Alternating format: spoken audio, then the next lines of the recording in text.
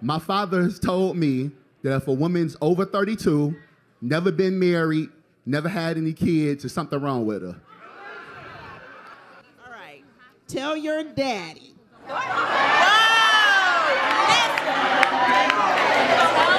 That if you problem find is- a is people- woman who is 32 years old, don't have any kids, never been married, tell your daddy that she's educated. And that she's planning to make financial Hey, decisions so she can afford the children that she has and Isaac. send them to college instead of having them standing at the L stop. She can drive a Lexus to work. Tell your daddy that the woman is a boss.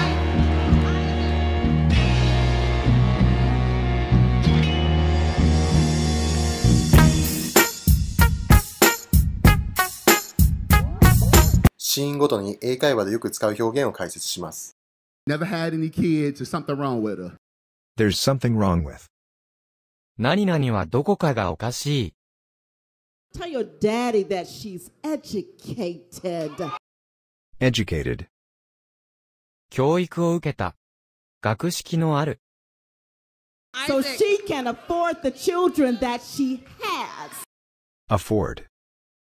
余裕がある。Instead of having them standing at the L stop. Instead of. 何々の代わりに。英語を話せるようになりたい場合は、僕の公式 LINE で本格的な英会話の無料講義を配信しているので、下の概要欄から登録してください。解説した表現を定着させるため、この動画は繰り返し見て、聞き流し、音読などをしましょう。